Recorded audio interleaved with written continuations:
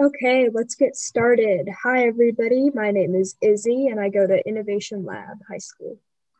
Hi, everyone. My name is Kenna. Um, thank you guys so much for coming. Um, welcome to the uh, information session for my school, Innovation Lab. Okay. If you have a friend or family member who cannot make it to the webinar today, this will be posted on YouTube. Here to share more is our principal, Mr. Shuki. Thank you very much, Kenna, and thank you very much, Izzy. I appreciate the introduction. Welcome to our webinar this evening. We have a, a presentation set up tonight to tell you a bit more about Innovation Lab and about the kind of things that we have going on at the school. So without further ado, I am going to share my screen and take us into the presentation that we have set up for you tonight. Uh, one of the things that I would like to call attention to, if it will, come on, go into presentation mode, you can do it. There we go. We are using the Microsoft Translate app this evening to provide a translation if you would like to see the text of our spoken words in a translated language. The code is down here at the bottom of the screen, HGUYR. Once again, the code for the Microsoft Translate app is all capitals HGUYR. If you would like to use that to have the, the spoken words we are saying translated into a written record in the language of your choice. And now moving onward, let's begin. First of all, I would like to introduce you to tell you a little bit about myself. Who am I? Well, I'm Peter Shirky. I'm the principal of Innovation Lab High School. I am a scientist. I'm also an author. I am a musician. I spent many years playing sousaphone in the Husky Marching Band and spent uh, several winter breaks uh, at bowl games down in Southern California. I'm an engineer. I'm an educator. I am a composer. I wish I could say with a straight face I was an artist, but my talents in that arena have never progressed past stick figures. But when I put all of it together, when I begin to bring these different aspects of who I am together in unique ways, I become something else entirely. I'm an innovator.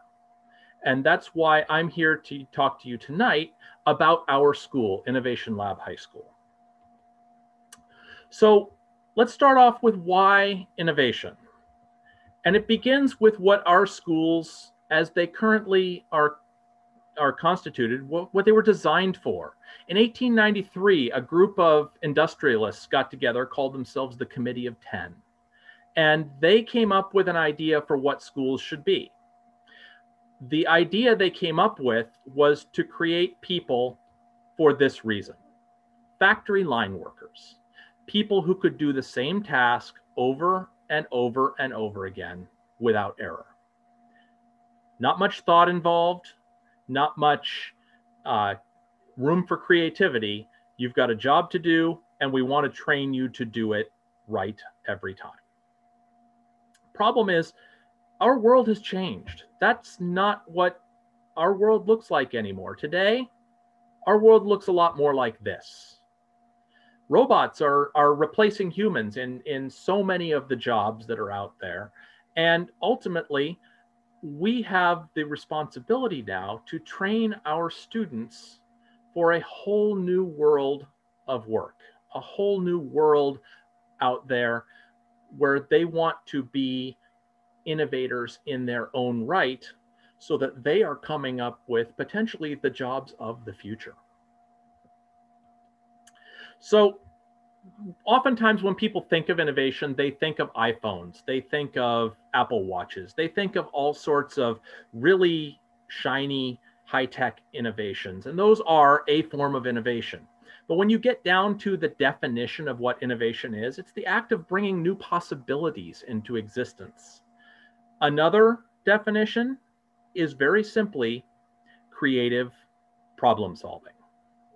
And that is where we bring innovation down out of the lofty clouds of of technology and and envisioning that only some few like the Steve Jobs of the world can can be true innovators or the Elon Musks or or the the folks that are out there and doing the flashy glitzy stuff any of us can be creative problem solvers in fact innovation is not reserved for the few it is something we all need to embrace if we are to move forward every one of us has within us the power to be an innovator. And what we want to do with our students is help them to recognize that, bring that forward, and become innovators themselves. So we started Innovation Lab High School.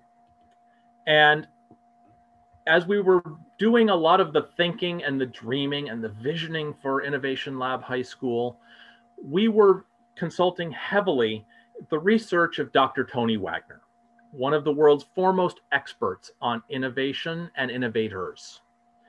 Dr. Wagner was here in the district back in February of last year and did a, a special engagement here where he talked at the Northshore Performing Arts Center. Um, and it was a fantastic evening. Uh, if any of you were lucky enough to have gone, uh, just a fantastic opportunity to hear a real expert talk about innovation. And according to Dr. Wagner's research, there, there's a thing that nearly every innovator that he interviewed, he interviewed several of the, the biggest innovators out there, talked to their parents, talked to their teachers. And what he found was in every case, their parents encouraged play. And that that childhood play led each of those innovators to an adolescent passion that they really dug their hands into and became that thing that they were, it was all encompassing for them. And that that adolescent passion then led them to an adulthood filled with a sense of purpose. And that it was the same time after time after time. Play leads to passion, leads to purpose. It's for that reason that we are trying to bring a sense of play back into what we do at the school, trying to help our students find their passion and put them on the road to an adulthood where they are going to feel a sense of purpose in what they are doing. So, a way that I like to think about what we are doing at Innovation Lab is thinking of in terms of a turning radius. Now, think for a second about an aircraft carrier. Okay. Aircraft carriers are amazing. They, they're, it's a floating city. They have thousands of people each doing their jobs in support of what the aircraft carrier's mission is. Um, you can land planes on an aircraft carrier. You can support rescue missions with helicopters and search and rescue. Um, it, it can project its, its will upon whatever is around it. A aircraft carrier is a great uh, great metaphor for a comprehensive high school. They have a tendency to change everything else to meet the way they do things. And their turning radius is measured in miles. It takes incredible amounts of energy and time and distance to change a comprehensive high school. It it's not that that the comprehensive high schools are bad. In fact, they are wonderful, wonderful educational institutions that have served so many of our students so well for so long, but they're not really responsive to change. On the other hand, I want you to picture Innovation Lab is something more like this, a speedboat. Smaller, more nimble, easier to turn, more responsive, able to change directions as we come up with new information about how the things we are trying are working. And if they're working really well, make tweaks to try and help them work even better. If it's not working, abandon that thing that's not working and try something else. But that agility comes at a bit of a cost. We're not able to do the same number of things or the size of things that a comprehensive high school can do because we are so much smaller. Just like you would not try and and uh, run the shoals in an aircraft carrier, having to navigate between the rocks. you don't want to try and land an airplane on a speedboat. It just doesn't work. So there's a trade-off there. And we've made that intentional trade-off to create a smaller school that is more nimble and more responsive in the name of trying to help find ways to help our students realize their potential as future innovators. So one of the questions I frequently get is who is an Innovation Lab student? That's a great question because just about any student could be an Innovation Lab student. As we, as I talked about a little bit ago, we have this, this philosophy that all of us need to embrace innovation if we're going to move forward as a society. But we happen to have a couple of our students with us tonight. And so I thought I would bring Kenna and Izzy back. I'm going to stop sharing my screen in a moment and introduce them and have them talk to you a little bit about their experience so far. Uh, Iz, Izzy is one of our ninth grade students here at Innovation Lab, and she is a founding member of our crew council. Kenna is a 10th grade student at Innovation Lab and is the team lead for one of our expedition groups. So with that, I am going to stop sharing my screen for a moment. And let's talk to Izzy and Kenna. Izzy, you're, you were first on the slide, so let's talk to you first. Tell us a little bit about your experience at Innovation Lab High School so far. Okay, so I'm in ninth grade at Innovation Lab High School, as he said, and I think it's very different from any school I've ever attended. Uh, for me personally, I like that it's a smaller school. Uh, you really get to know a lot of the people there, and it's really helped. Like, we can change things really fast. If something's not working, we can change it. Um, and we always give feedback in our, the classrooms, and it's just been really great. Thank you, Izzy. Kenna, how about you? Tell us a little bit about your experience so far. Hello, everyone. So um, I actually have had a really good experience at Innovation Lab. Um, so I, one of my favorite things is all the collaboration we do in groups, whether it's the expedition or if it's just in class. Um, I really like to work with other people, so I find it really fun.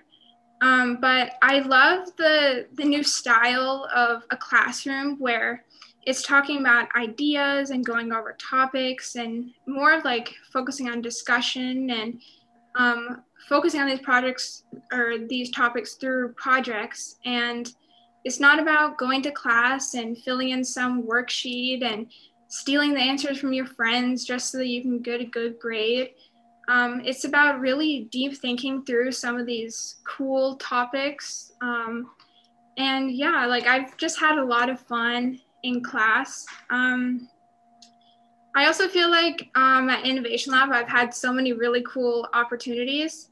So I am part of Climate Action Club. And recently I was able to present to a third grade class about climate change. And all the students were just so excited to listen to me present. And I just, I felt so good about what I was doing. And I'm just so grateful for experiences like that. And also with the expedition I've been doing.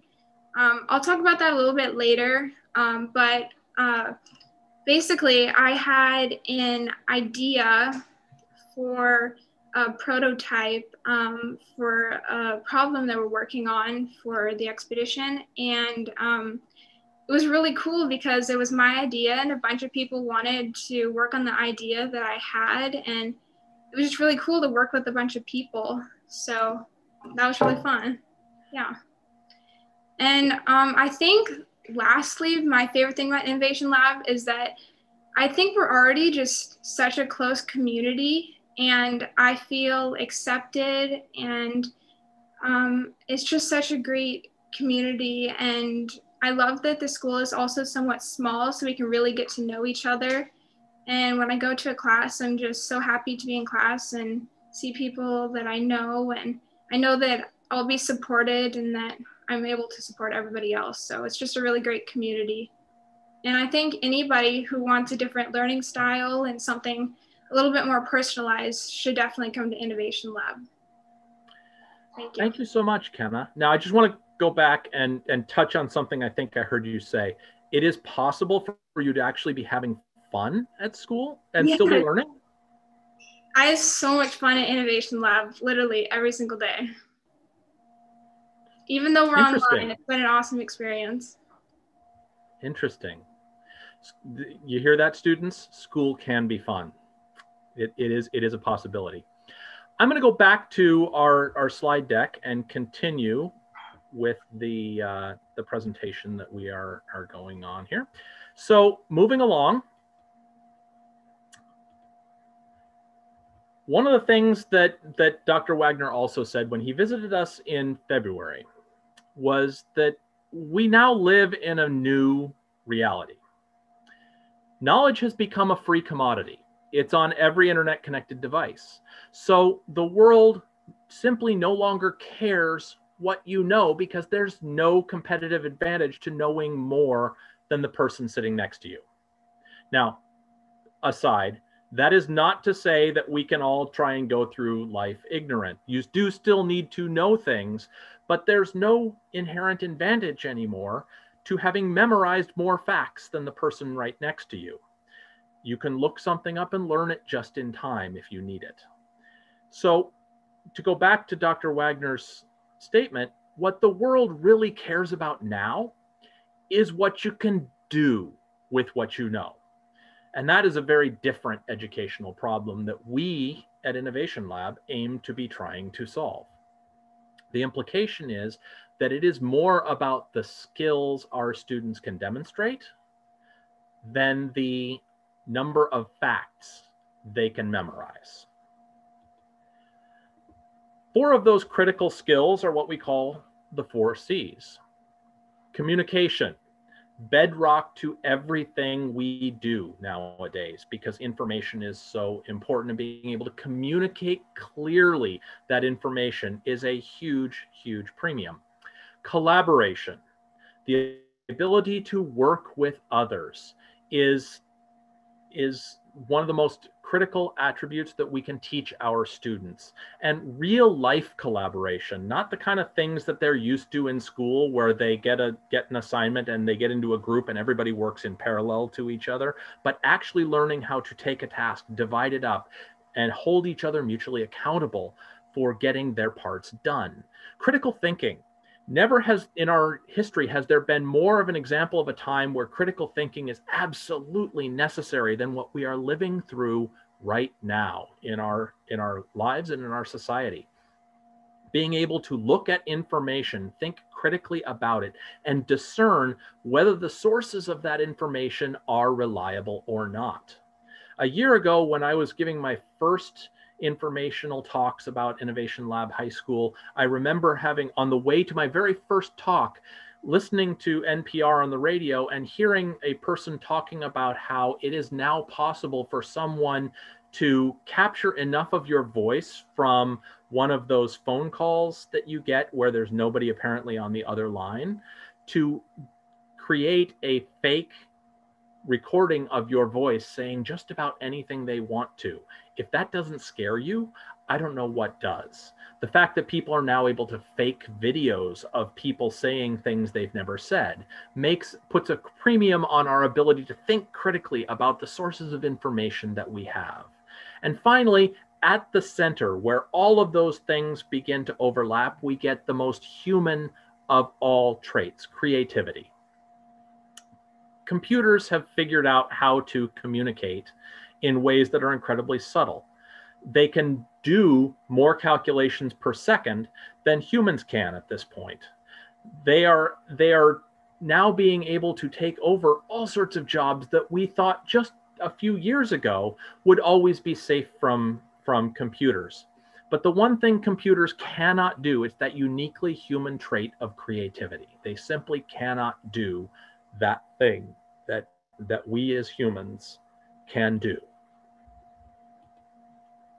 There are also some other things that are we've found to be very critical. One is a disposition toward innovation um, that is incredibly important, and that is risk tolerance.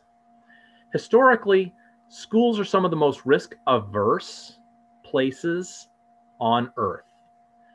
I mean, think about it what potential incentive is there for students to think outside the box if they risk not turning in something that meets what the teacher's expectations were?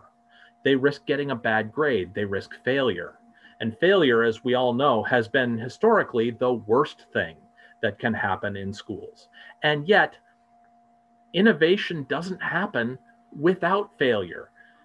In fact, nowadays, modern companies talk all the time about failure, failing fast, failing cheap, failing safe, failing forward. But always they're now talking about failure because it's in our failures that we learn and we move forward.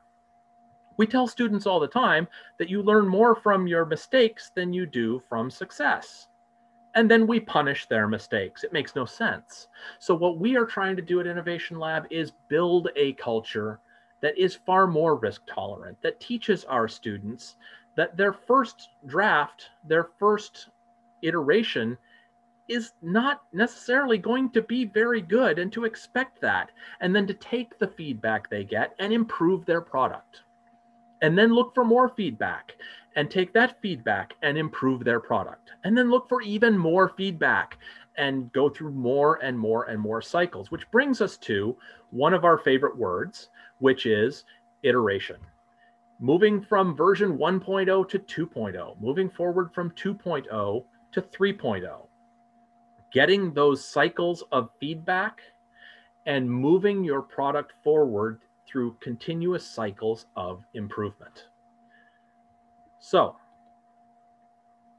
that leads us to yet another way that we are trying to branch out and, and bring in a little different style of learning, and that is the interdisciplinary approach. Judy Gilbert was at one point the head officer of talent uh, at Google Incorporated. And she said that if there's one thing educators must understand, it's the problems can no longer be solved nor even understood within the bright lines of academic disciplines innovation doesn't happen at the core of a discipline anymore. It happens at the edges, at the mesh points between those disciplines. It's where math meets social studies and looks at the statistics of some phenomenon that is going on. It's, it's where English meets art. It's where science meets physical education or where uh, where computer technology meets any of the above. It's when we begin to look at the, the things that cross over between the disciplines that we begin to see the places where innovations can pop out. So, what does this look like in the classroom? Well, we happen to have two of our teachers here with us this evening, and I figure we should ask them. I would like to introduce Mr. Kirby Morgan, who teaches both math and English at Innovation Lab, and Mr. Alec McTavish, who teaches both computer science and math. Alec, Kirby, what does this mean to you all in the classroom? There's not a good antecedent for this. Just going to point that out. Um, for for me, it's uh, I, I, like what you said about it's it does us no good to have all this knowledge memorized into our heads. Um, I still think there's a lot of stuff that has to live outside of the computer, the, the device that you're looking things up on. And to me, that's all about the connections between things. You remember how things go together. You remember that this leads to this, leads to this. And boom, you know where to look when you're digging online. So there is still a lot of we're not just offloading everything to the computers. There's a lot of what we need to do, but our power as humans has always been that connecting, that connecting piece. And so I really love that Innovation Lab is doing that kind of, we're, we're, we're opening up the doors to all that kind of cross subject thinking and everything and giving our students more avenues to see, oh, this connects to this, and I can come up with this cool idea. Thank you, Alec. Kirby, what about you? one of the big advantages of our school is also that we are such a small school. And so one of the things that we're able to do is we're able to have lots of conversations amongst the staff about what we're doing. We're able to know what's happening in the other disciplines, and then we can look for those connections between them. And so we are continually looking for those ways that we can make connections between our classes. And many of the lessons and activities that we build in even make some of those connections. And we're starting to do some of that. We're certainly still building very much toward it. And we're learning along with many of our students, which is a fun experience to be learning along with our students. But we continue to make it more and more of that kind of interdisciplinary process. It really does focus on iteration and creativity uh, those are even things that I've explicitly taught through some of my classes this year, including in math class, teaching creativity in math. Go figure, right? Uh, but these are the types of things that we're delving into where, because we're at Innovation Lab, we can say we don't have to worry about racing through all of this book. Instead, we can take a step back at times and say, but we're going to go and focus on this skill as well and really think about how we think. Thank you so much. Appreciate the insight both of you brought tonight. So with that, I'm going to move back to our, our presentation and continue on. So one of the things that we hear in education all the time is this idea that we need to somehow keep our students engaged in their learning. And engagement is great. Engagement is means that the students are are there they're part of the process but in my view engagement is not enough engagement means getting students excited about our content and our interests and our curricula. And the problem is students aren't always excited about our stuff because it's not their stuff. I I like to think of what we are doing at Innovation Lab and what our mission is is not to be engaging our students but to be empowering them. Empowering our students means giving them the knowledge and the skills to pursue their passions, their interests and their future. When we cross that divide and we move from trying to engage our students to empowering them, we no longer have to try and supply that extrinsic motivation to get them interested in what's going on because now it's about their stuff. They're already interested.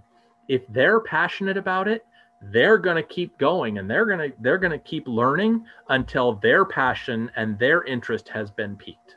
If they're pursuing something that they see as part of their future, they're going to keep working on it and they're going to put their efforts into it because it means more to them. That's one of the big things about innovation lab is we are trying to figure out how to empower our students not merely engage them. We also want to get our students operating as design thinkers. Throughout the last couple of months we have been diving into the design thinking process teaching our students a way of looking at big, wicked problems, things that are so complex, there's no easy solution to them, and trying to tease out how to figure out a way to address that problem. We have them empathizing with the, the people who may be suffering the problem, who are involved in it, for whom that, that uh, that that uh, solution they're trying to come up with is going to be targeted. We then have them defining the problem tightly and looking for the root causes of that problem because it does no good to treat the symptoms if you leave the root cause of the problem uh, un- unchecked. They then engage in some brainstorming, trying to come up with ideas for solutions that match the root causes of those problems, moving into prototyping, and lastly, to testing their prototypes. Importantly, here, the students are the ones defining the problems to be unraveled. Too often in schools, we hand students a problem and the student takes the problem from us and says, gee, thanks. What am I supposed to do with this? Our students have gotten to define the problems they are working on. And they are really tackling some meaty problems, doing some pretty amazing things. This leads us into some talk of our learning expeditions. An expedition is a long-term deep dive into a complex interdisciplinary problem. Our current expedition, the theme is pandemics as catalysts of innovation. Our students conducted some interviews in the community to build that sense of empathy and then used the information that they gathered from those those uh, those interviews to build a database of interview responses. And they used that database to go through and define problems that people see in the community and they're currently engaged in designing prototype solutions to those very problems so at this point, I want to check in again with our students and our teachers, this time more focused on the work that we've been doing for the past couple of months now. We start at the beginning of November on our expedition. So students, I want you to describe the projects that you're working on for our current expedition and what has you excited about the project that you're working on. Then we're going to move over to the teachers. And teachers, I'm going to want you to talk about what kind of skills our students have been learning as they've worked their ways through this expedition. With that, Kenna, you went second last time, so I'm going to ask you to talk first this time. Okay. Um, so with the expedition, um, the first thing I did was I looked over the database and I started reading through all the problems people had wrote up that um, based on their interviews. And one thing that stuck out to me a lot was that people aren't seeing their friends, people aren't going places. And um, I find myself like, I think of myself as a really creative person. I have some really crazy, cool ideas. And so I thought about um, like some really cool, like space suit, space bubble, like hazmat suit kind of thing. And so I set up a little slide presentation um, and I was able to present it to the whole school. And I was really happy to see that a whole bunch of people were interested in my idea. And so then I started leading my project and um, I started talking to some other people. And then we had some ideas about just creating it, some kind of helmet that people could wear and it has like some cool button on the side to release the front face shield so that people are able to eat. And um, currently we are working on a system for the filters um, some kind of mater- material to make it out of. Um, we were talking about some kind of N95 material or something like that. I mean, they're really hard to get. So these are just some of the things that we're, we are thinking through. And there's a lot of research we have to do behind this. Um, so it's a really cool process. Um, it's so fun to collaborate with others and share ideas. And I just, I can't wait to see what our final product looks like because I've already started doing the drawing for our helmet and I'm really excited to present it. Yeah, thank you. Okay. Thank you, Kenna. Izzy, how about you? Okay, yeah, so my group has been working on a plan for crews to meet at our school in person every week. I'm so excited about this plan because it's really been harder to socialize during online learning, and you don't really get that personal connection you do in person. Uh, this project really gives me a chance to collaborate with my peers and make something that will fix a problem in online school. And our process was really that we researched everything that we needed to do, all the protocols that we needed to do to meet an online school, and like everything that needs to go down. We saw, we looked, and there we have tents available for the crew meetups, and we we're going to email Dr. Reed to try to get our permissions and try to see if she approves it. But yeah, it's just been really cool to try to put something in action and make something that might change Thank you, Izzy. As you can see, folks, our students are coming up with some pretty awesome projects and looking at needs in their communities to start from when they're trying to come up with those projects. Now let's talk pivot and talk to our teachers. Um, Kirby, you went second last time, so once again, I'll have you go first this time. Certainly. Uh, I and Alec both are uh, working with our technology group of expeditions. Uh, they're basically creating various software projects to meet various needs that they've observed that came up as a result of the pandemic. And when we talk about working in school and doing group projects, most of us have this vision in our head of four students sitting at a table with one or two students working and everybody else just kind of trying to go by on their coattails. And one of the neat things that we've been able to see is we've been starting to equip them with tools on how to actually uh, break down their work, where they're breaking down their big projects, where they're creating a software package basically into very small tasks, which then they can start claiming and giving them a process where they uh, move their tasks as they assign them between different categories. And so we can always see what everyone's doing.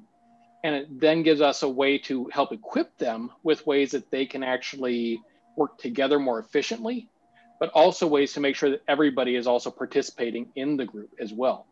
And tools like that have been excellent about equipping them for real life collaboration types of skills. I'll let Alec follow up on that with other things he's been seeing in our group.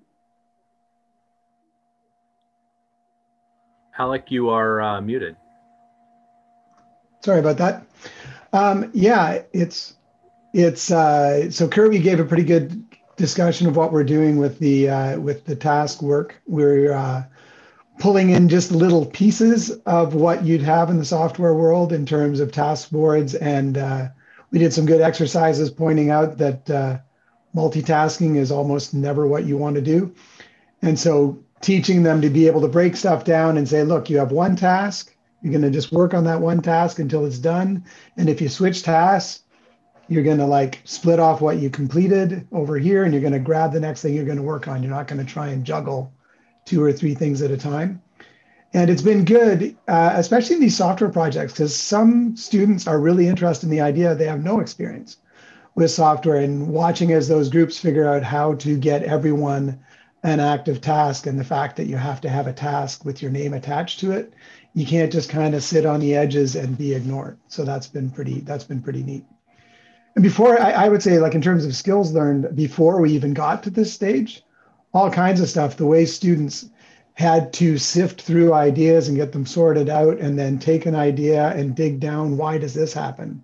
Well why does that happen? And why does that happen until they get down to a root cause? This whole process um, with that and then what kenna was talking about with presenting their ideas very uh, kind of steam like of just like here's my project. Anyone want to do it with me? And it either flies or it doesn't. And some of them flew and some of them didn't. And it was really neat they're learning a lot of stuff there one of the other things that we did we've done over the course of this expedition was do a little bit of explicit learning about uh, leadership and work styles would either of you like to mm-hmm. say just a word or two about that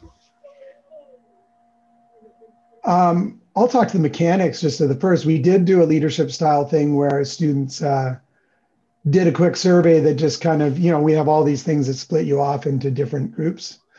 Um, what I liked about the survey was it didn't really give a name to each of those groups, it just gave them a color.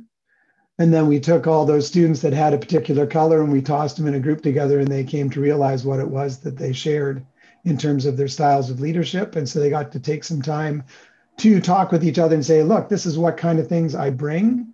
These are the kind of ways I can leverage off other people's skills um, and a real focus on the positives of it as opposed to the, well, this is what I can't do well. It led to some great conversations about how well they all complement each other, too. Yeah. Thank you very well much. Said. One of the things that I love about our approach at Innovation Lab High School is we are looking for ways to focus on students' strengths rather than look at deficits and try and help students to put themselves in a position to best use their strengths at all times. Thank you all. We'll come back to you in just a little bit, but meanwhile, we are going to jump back into our presentation. So one of the things that we have adopted at Innovation Lab High School is a lot of the, the workings and philosophy of a model of education called expeditionary learning. Um, expeditionary learning has this idea that we have one vision for students that has three dimensions. This top one here, mastery of student knowledge and skills, is something that most, if not all schools focus on to a, to a great extent, trying to help students expand their knowledge and expand their skills. However, when our students graduate and they leave our school, it may be the last time in their lives that they are measured by a test score. From that point forward, they will be measured by the quality of their work and the quality of their character.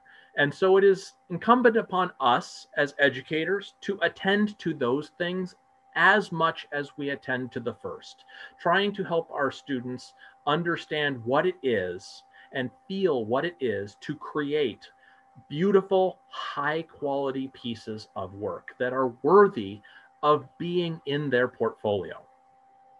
And to help them understand who they are as people and attend to understanding what their priorities are, what their values are, and who they want to be as a person. In other words, attending to their character. One way that we do this is through the culture and structure that we call crew.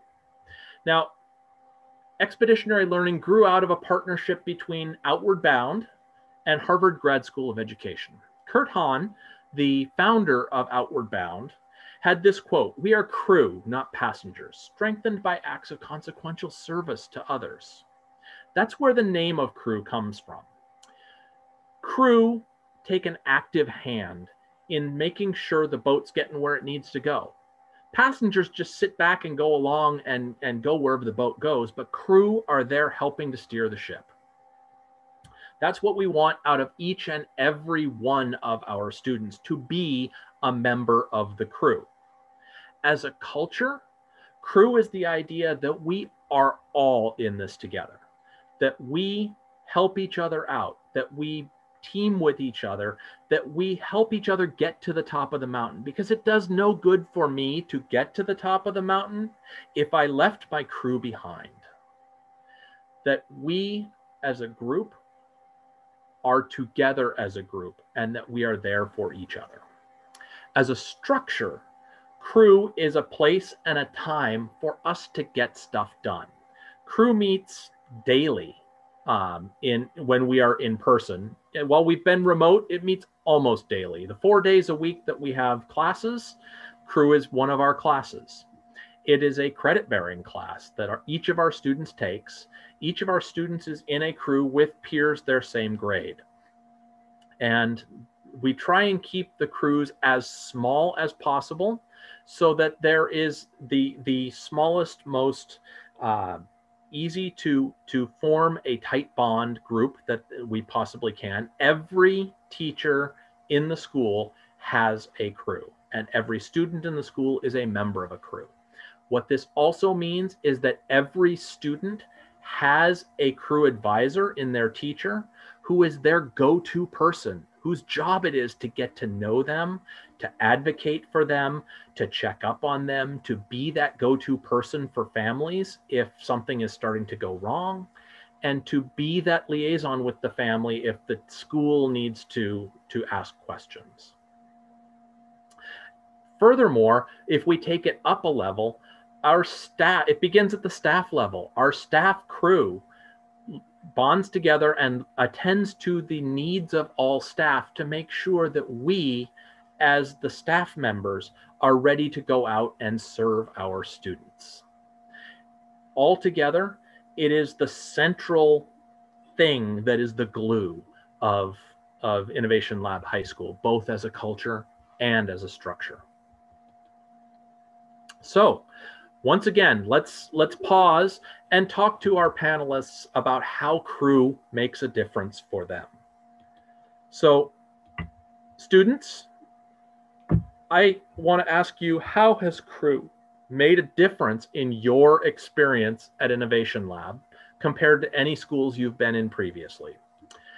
And teachers, I'm going to ask you how has the crew model made a difference for your ability to connect with students? All right. Izzy, you're up first this time. Okay, sounds good. Uh, you know, crew has really made a difference in my daily life at school.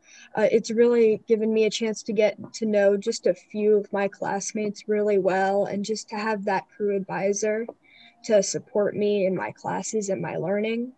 Um, and, you know, it's always my favorite part of the day. We can just kind of have fun, talk to each other, uh, learn with each other. And, you know, I really like my crew. They're a really fun bunch, but I'm really glad I like my crew because I am stuck with them for four years. Absolutely. Kenna. So I love my crew so much and mostly because I just feel supported and I feel like we're all in the same boat. And we have some really great topic discussions um, when we're in crew. And I just, I really feel empowered by everyone. And I love everything we talk about. Um, I just, it's really special to have that bond, that really close knit bond with a couple people. And I mean, like right in the beginning of the school year, we were already so close and we set up a group chat and we just FaceTimed so much and we just got really close all of a sudden. And I just have loved having that group of people. And I, if I know that I'm not feeling good, I have those people to go to. And if I need academic support or I have a question, just text them and they'll answer. And I just, it just feels so good to have that fun group of people. And I know that I'm going to have them for a couple more years now.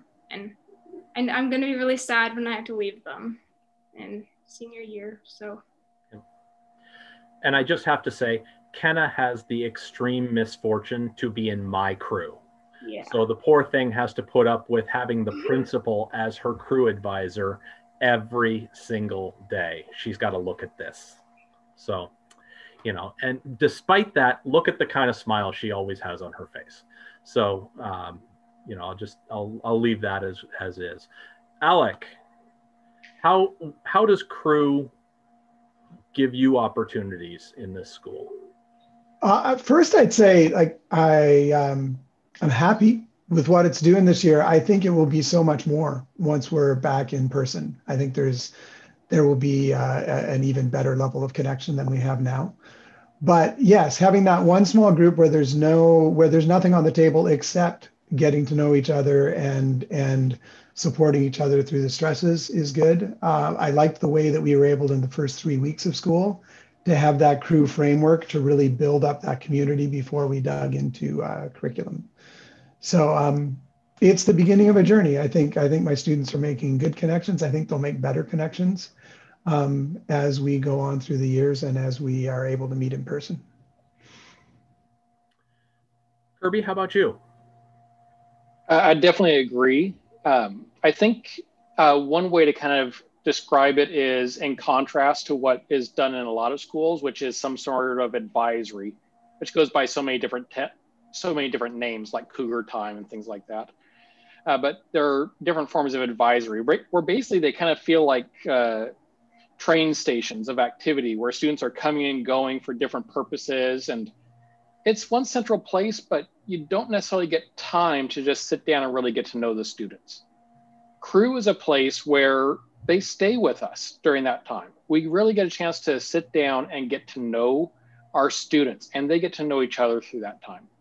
And so it's a very powerful way to actually have a chance to invest in them without having to worry about getting through this or that in that time it's all about getting to know each other. And it's provided a lot of great opportunities for us to have a lot of fun together. Yes, we actually play games uh, often once a week. We'll play games in crew, but also times when we can discuss issues of the day and other soft skills that have been coming up. And so it's been a great way for us to really just improve as people, but also to make those personal connections.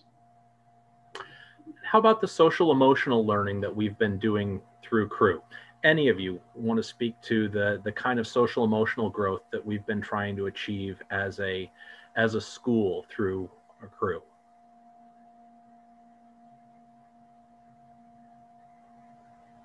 Uh, i will say in my crew we always do uh, some sort of like meditation or de-stress video at least once a week where we all just kind of sit down and we can turn our cameras off if we don't feel comfortable, but we just sit down and try to like de stress and just have that time. Thank you, Izzy. Anybody else? I mean, for my crew, we do do a lot of time where we talk about like things that are stressing us or things we're emotional about, and we can give each other support and feedback. And yeah, we've had lots of good conversations like that. Thank you. One last thing I do want to point out, and Izzy, I want to give you the floor to talk about crew council and and your Izzy was instrumental in in the development of that aspect of our school. Yeah, so um, I not only participate in crew council, but I helped found it along with two of my classmates. Uh, we met together because we had an idea that we wanted the students to lead our weekly all school meetings. It ended up working out. We met with Principal Shirky, he was on board, and now we meet once a week and it consists of one person from every crew, but it's open to anyone who has an idea or something they want to say in the all school meeting. And it's really been a place for like students to take charge and try to plan something for the whole school and get stuff done for the school. Thank you. They've been doing a really good. They've been doing a really good job of it. Those meetings have been great. Thank you. So thank you all for for your sharing. Um, I am going to head back to our presentation and we will, I think we're into the home stretch now. So one of the things that is a characteristic of our school is we are trying to help build in our students an ethic of service. As we've mentioned before, our expeditions are focused on a some sort of a deep project that benefits the community around them. Often they're having they're finding a social or environmental justice theme in what they are doing. And our students are the ones who are defining the problems that they see in their community and then pro- proposing the solutions. And lastly, just to touch one more time, bringing in that I, that crew uh, ethic, that community success is more important than individual success. Another thing that we are starting to embark upon is the idea that our students are going to be maintaining portfolios of their work. They're going to be looking for work that shows their highest levels of mastery. They're going to be looking to, to have artifacts in their portfolio that excuse me, demonstrate their growth over time. They may choose to put artifacts in their portfolio that show a way in which they have overcome a particular challenge. And the thing that we are really proud about is we are figuring out how to make these portfolios digital because that will come in very importantly in just a few slides. Another thing that is, is coming up a little faster for our 10th graders is the idea of passages. There are many, many, many rites of passage that, that we all go through as we grow up. Um, and schools have their own sets of rites of passage. There are things at many schools that are social rites of passage. There are many things that are athletic rites of passage. And there are many things that are academic rites of passage. One of the most powerful academic rites of passage is the passage presentation at the end of 10th grade. Our students will use their portfolio of artifacts to demonstrate that they are ready to be promoted to 11th grade. To be able to stand up and say, Here I am, here is my work, and here is how I know that I am ready to be promoted to the next grade, is to put the students in the driver's seat of their own learning to make sure that they are self aware enough to be able to talk about the highs as well as the lows, where they have ma- where they have achieved excellence and where they still have growth to make, and what their plans are going into the their 11th and 12th grade years to make sure that they are on track to graduate as a, a member of the Innovation Lab High School community. Again, at the end of 12th grade, students will be given the opportunity to reflect publicly on their academic journey. It's a, a passage that, uh, that we, we have yet to name, but several schools who, who do this often call it the parting shot or the, uh, the final word. The opportunity for our students when they reach the end of their 12th grade year to pass on their wisdom to the younger students in the school. Again, an opportunity for students to be highly reflective about their own learning. We are placing a focus on learning and skills, not on grades. One of the reasons why, when you read research about grades, grades reward compliance. They rarely reward creativity. Even when we hand students a rubric for how they will be graded, we have already constrained what it is we expect to see from them, and it quelches the creativity that they otherwise might have if they have a far more open box. We're examining the practices that promote and reward learning and trying to accentuate those and help our students to, to discover a joy of learning for learning's sake and to put the focus on the skills they are, are learning to master and the quality of the products they are creating. One of the ways that we are tracking this, we have entered a partnership with an organization called the Mastery Transcript Consortium. They have developed a new 21st century transcript that we will be using at Innovation Lab High School. This transcript focuses on skills mastered rather than seat time and grades, and it is preferred by admissions officers at all levels of colleges and universities, from the Ivy League to NCAA institutions to smaller private liberal arts schools. Just as a couple of examples here, uh, a admissions officer from Caltech says, I care deeply about the collaborative spirit that we can't get from grades and GPA. We need a better understanding of how kids work with peers, better, uh, better, for example, that's beneficial for the selection process. Another uh, admissions officer from Colorado College talks about the, the lack of authentic voice in a traditional application and, and transcript and the ways in which the mastery transcript gives them a deeper sense of student abilities and potential. An admission officer from Princeton talks about how they, they think the mastery transcript is great and allows them to understand students' stories in a deeper way. So what does it look like? Well, this is what the transcript looks like. The student is able to place a, a statement of their own writing up here to introduce themselves. And then we end up with a credit profile, the look of which is roughly the same for every school. Each school gets to de determine each of these big buckets of skills and the individual sub-skills within each of their buckets. But overall, the look of it remains the same. Each of these lines you see here is a skill that the student has mastered.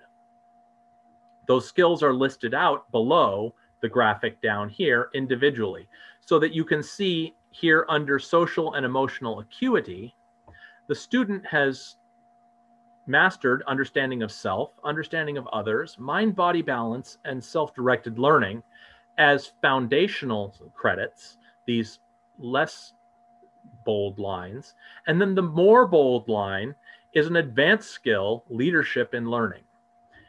The foundational skills are skills that every student is expected to master, with the thicker advanced credits being advanced skills that the student has chosen to focus on.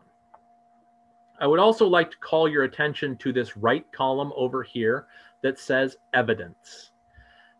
In the mastery transcript, these are live links to the student's digital portfolio. A a college admissions officer could click on this link to bioengineering and pull up the paper that Kavita has written that shows mastery of the advanced skill technical design. Or they could come down here and open up the, the link to volunteering for Cake for Kids and see the, her description of the public service she has done in her volunteer work for this nonprofit organization. It allows the admissions officer with a single click to see the work of the student in a way that a traditional transcript could never communicate. Now, a couple of things that you do not see and will not see on the mastery transcript. There are no grades and there is no GPA. And college admissions officers are okay with that. There's also no test score from SAT or ACT on here. Now, there wouldn't be on a traditional transcript either. Those are always sent separately. But this is about the skills the student has demonstrated they have mastered and the evidence to support that mastery on the transcript. The one thing you cannot see from this view is at the bottom of the transcript is a list of all the courses that the student has completed because colleges do want to see that as well. Because I was only able to grab a still, I'm not able to, to scroll all the way down to show that. So that is also a part, an important part of the mastery transcript. Now, lastly, a really cool thing happened last year while we were uh, in the planning year for Innovation Lab High School, the State Board of Education made an opportunity available to apply for a waiver from the credit hours graduation requirement.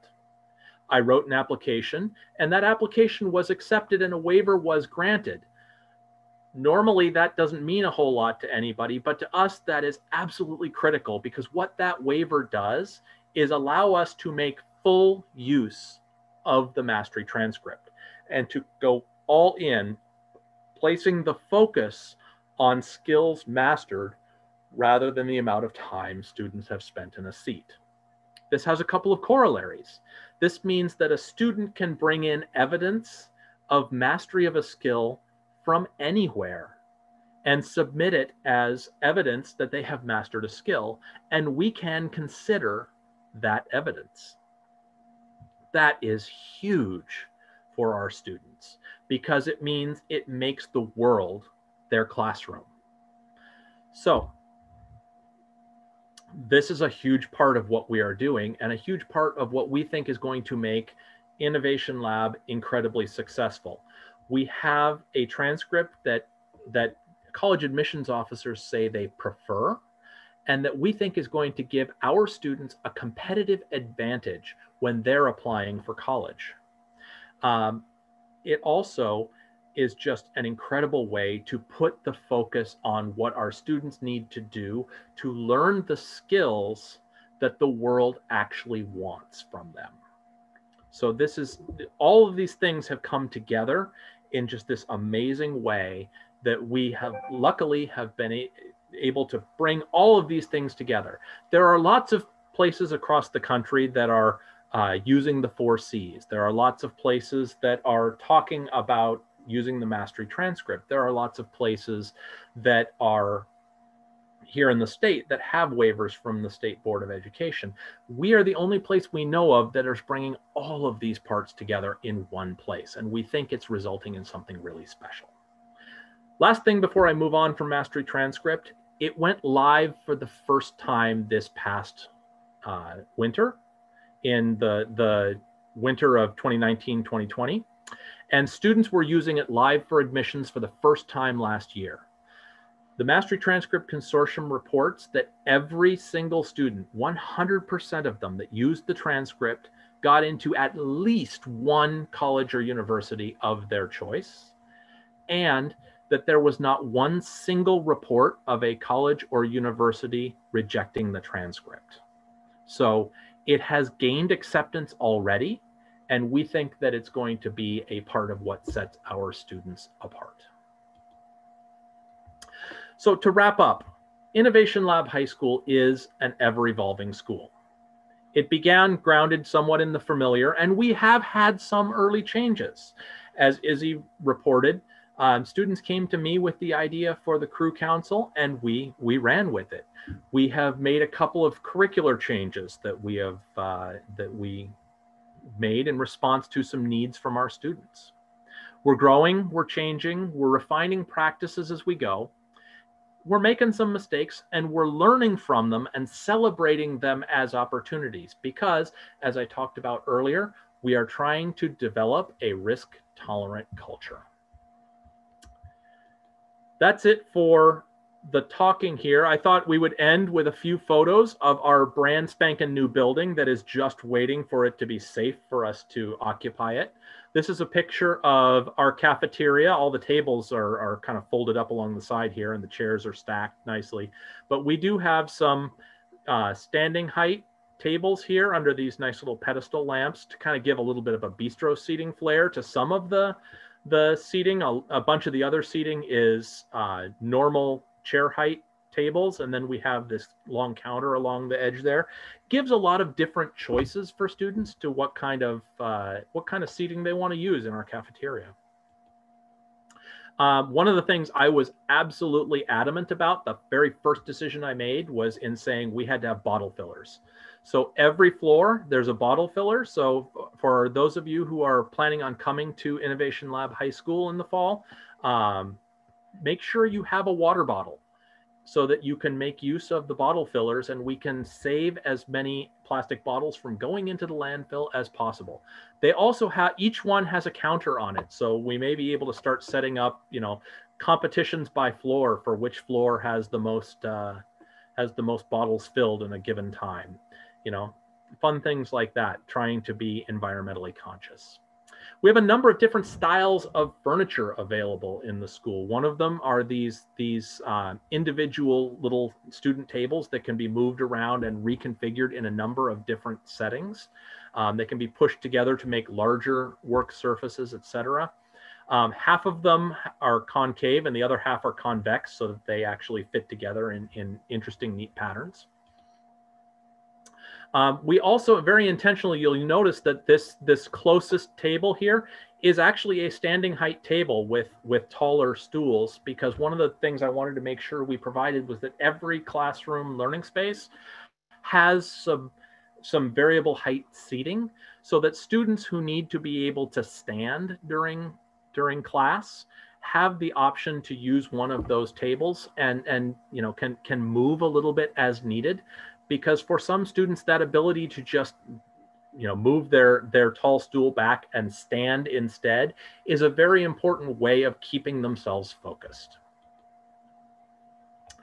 Our our building has tons of these little breakout rooms available where students can can peel off and go have a smaller meeting with their group and have a, a space in which they can can talk and and conduct their business without having to have the the chaos of having several groups within a classroom at the same time. So that's one of the neat features of our building is we have so much collaborative space. And then I wanted to share a, a post that one of our parents saw from one of our students on their Instagram account last night. Um, this was posted by one of our students. If you are an incoming freshman or a future sophomore, apply. I absolutely love this school. We get to work on student-led projects that have a positive impact on the community while also having regular classes. Right now, I'm a part of the group that's creating a mental health outreach program that includes flyers set out to everyone in NSD, a website, resources like school counselors and therapists, and a hotline. People at this school are seriously amazing, and come on, the walls are literally movable whiteboards. And just to make sure I can prove it, back here in the back, those, those panels you see here are on a track and can be moved back and forth, and every single one of them is a floor to ceiling whiteboard that our students can, teachers can use in the course of their learning. So that's it. Um, if you have questions after the, the, uh, the webinar tonight that aren't answered, please feel free to give me a call or uh, to drop me an email. My email is right there, pshirky at nsd.org. My, my office line phone number is right there. And I welcome any calls or questions or emails. I'm happy to answer them from you. And now I am going to toss back to our hosts, Kenna and Izzy. And let you take it from here. Okay, thank you. We can't hear you, Izzy. Hello? Uh, a little better. Okay. Just speak up a little bit. There you go. okay. Uh, thank you, Principal Shirky, for that information. Uh, at this time, you can use the Q&A feature to submit questions.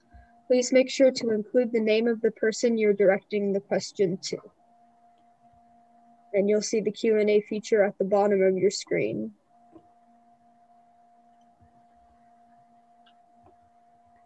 And I'll bring in uh, our two teachers, Alec and Kirby, to uh, answer questions as well. So Izzy, Kenna, as soon as you're ready, uh, go ahead and start firing some questions away at us. And uh, we would also point out that if you see a question already in the Q&A that is similar to one you would be wanting to, uh, to ask, you can upvote it to uh, make it rise up to the top. One, one question that I'm seeing upvoted a lot, uh, it's uh, are there any requirements to apply? And I'm guessing this is for Mr. Shirky. Yes, the student has to currently be in eighth grade and ready to go into ninth grade next year. That's it.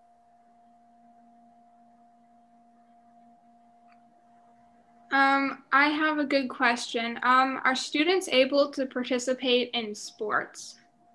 Are students able to participate in sports? Fantastic question as a very, very small school, Innovation Lab is not going to be fielding any varsity sports teams. Instead, our students can participate for their home area high school. So if you happen to live in the North Creek attendance area, you would participate in sports for North Creek High School. If you live in the Bothell area, you would participate with Bothell's sports teams. And all of the logistics of that are worked out and we have students who are signed up and ready to go to um, to participate in sports when COVID allows. I will also throw in that we are currently in the founding phases of starting an esports team as well for the school, which may eventually end up actually being a varsity sports as well. Esports is in the process of being qualified as a sport on par with the other sports that are commonly found at the high schools, but we are working on that team as well right now.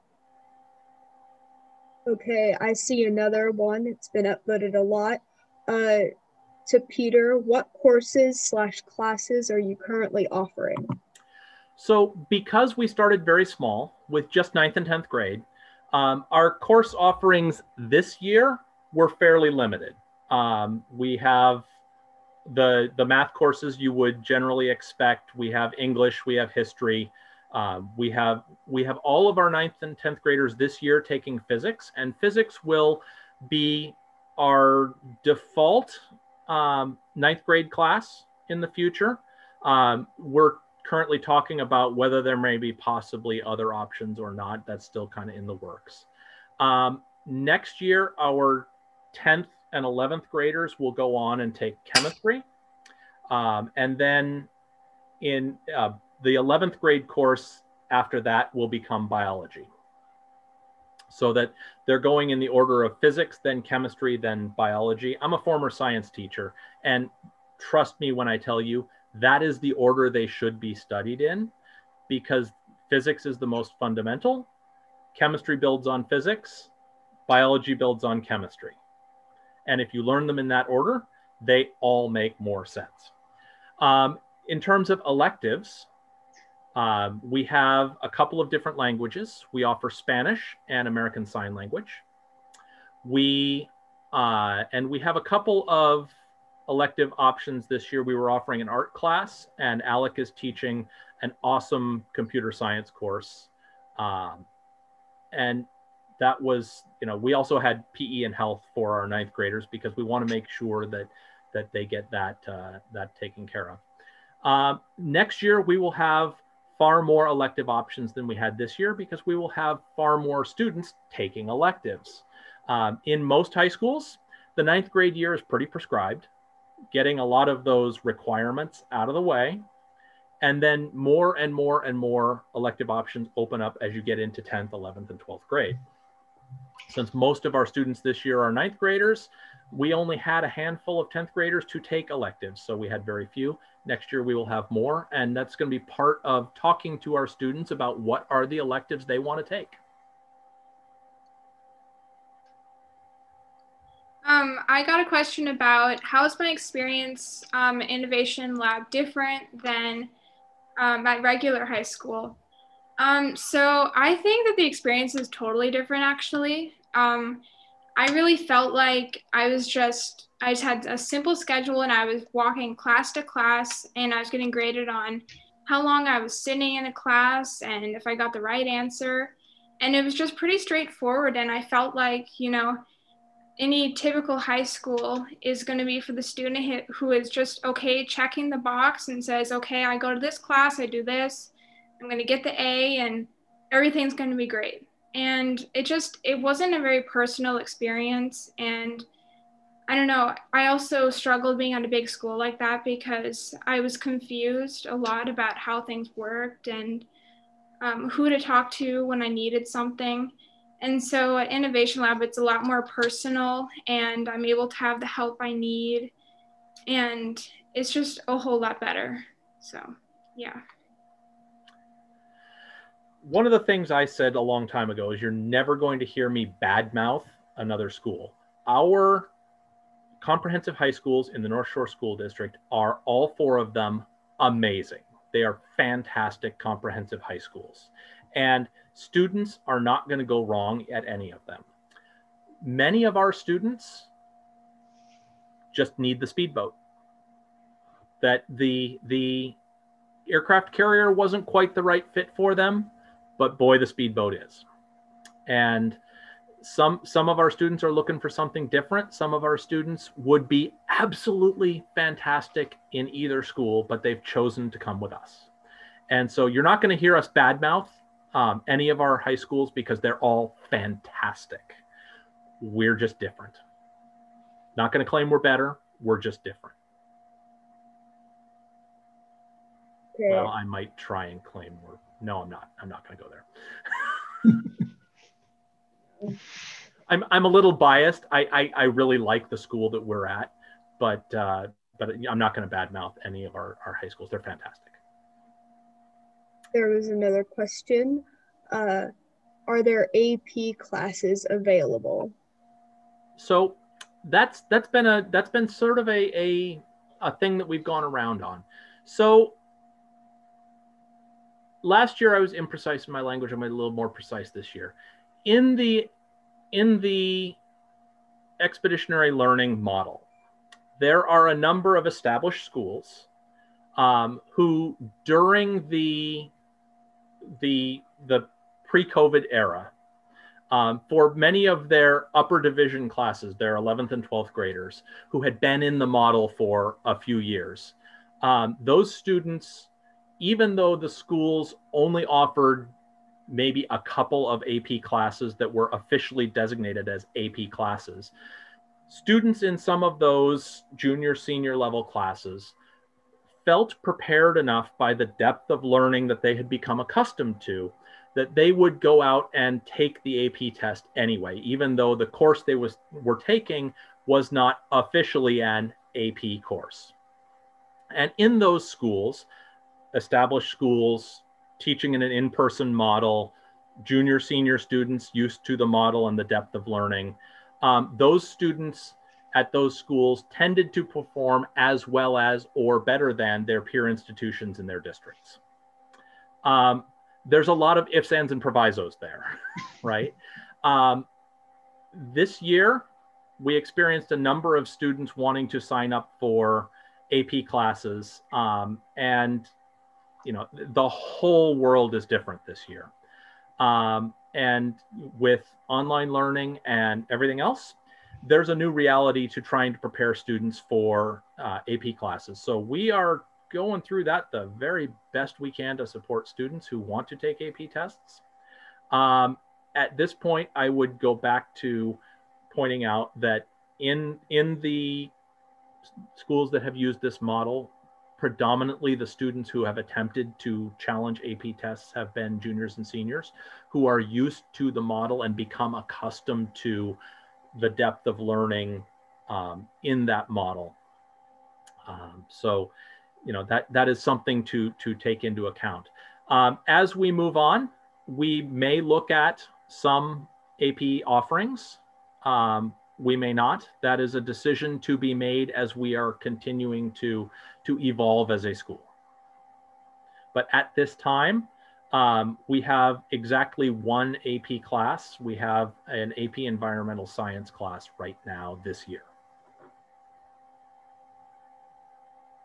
Okay, perfect. Um, there was one other question. Uh, how large is your crew? And for me, my crew is around 14 people. We just got another teacher, but 14 people. Um, and I believe the maximum amount of people in one crew is 17. And we have 10 crews total. Yeah, so my crew, I think it's about 12 people. Um, yeah, it's a pretty small group, which I think is really great. Okay. And uh, what if someone applies, then changes their mind? We did have a few people apply uh, last year and then change their mind. There is always a right of return to the home area high school. Uh, one of the things that we have asked people to be thoughtful about is that school changes are less than ideal for students. Um, and so, especially mid year. So, we would be asking that once the school year starts, we're asking students and families to commit to at least one full year. And if at the end of that, that one full year, you've tried it out and it's not for you and you want to go back to your home area high school, you always have that right. Um, we just ask students and families to to make that commitment for a full year and and make sure that you are committed to that full year. Okay. Okay, there's one other there's another question too. Uh, can we have a music program at our school? Can we have a music program? I would love to have a music program. Um, as I mentioned before, I am a musician. I was a sousaphone player in the in the marching band, um, and we have a building that does not lend itself to large musical ensembles. We are we don't have a place that we could have a large orchestra or a concert band um, to rehearse without creating so much noise that they would make learning untenable for other classroom areas in the building. Could we come up with a creative way to have smaller groups? Well, that would be innovation. And that's kind of what we, we do. If we have enough students who want to try and come up with a, a way to do music, then we will definitely look at trying to figure out a way to make it happen. I just need to make sure that everybody has eyes wide open that we are not likely going to have a concert band or a concert orchestra, that we just simply do not have the facilities for those things. Um, there was another question that I'm actually interested in, and it is uh, dress code. So when we go back to school, will there be a dress code?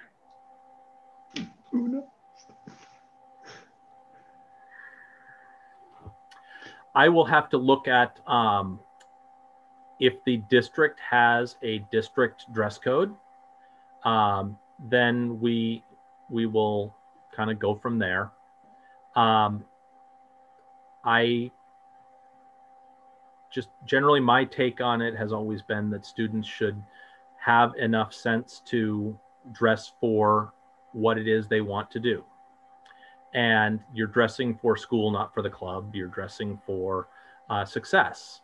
And people often say that you dress for the job you want. Well, You know, that's kind of the the sort of ethic we want to build in our students that you want to be dressing in a way that communicates what that you are a serious person.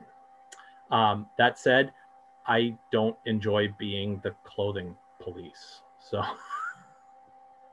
I'd prefer not to to have to have those conversations. And so we will ask our students to be thoughtful about what it is they are wearing.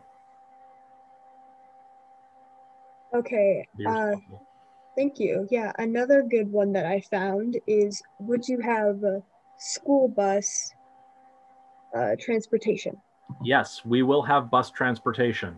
Uh, the transportation office is still trying to figure out how that will work, but the idea would be that in the morning, students would ride the bus to their home area high school and then catch a shuttle over to Innovation Lab. And then the afternoon part is the part that the uh, the transportation department is still trying to figure out, but then that it would get students back to home after school, and that's for them to figure out, not for me, because my job's principal, not dispatcher.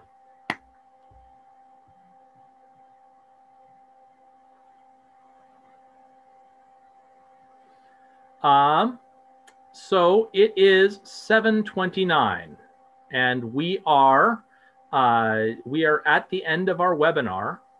There are a number of other questions that we can see here in the uh, in the Q&A we will try and figure out a way to uh, to grab those and get some of those answers to those out onto our website for those of you who submitted questions that we have not yet gotten a chance to answer. Um, I do see one in there. What are the odds of getting into ninth grade? Um, we have a total capacity of 600 students. So if you divide that by four grades, that's about 150 per grade. Um, as of this evening, as I was logging on, we already had somewhere in the neighborhood of 90 applications. So the, there is quite a bit of interest and space is limited. So um, if you are interested, by all means apply and we will see where the, uh, the, the road takes us. All right. Thank you, everybody. We appreciate your, your time joining us. And uh, remember that there will be a copy of this posted to our website um, so that people who weren't able to view can see it. So if you know someone who wasn't able to join us tonight but could be interested, make sure to let them know that they can come see tonight's webinar on our website. Thank you very much. Have a good evening. Thank you, everyone. Bye. Have a great evening. Thanks for coming, everyone. Thanks for coming.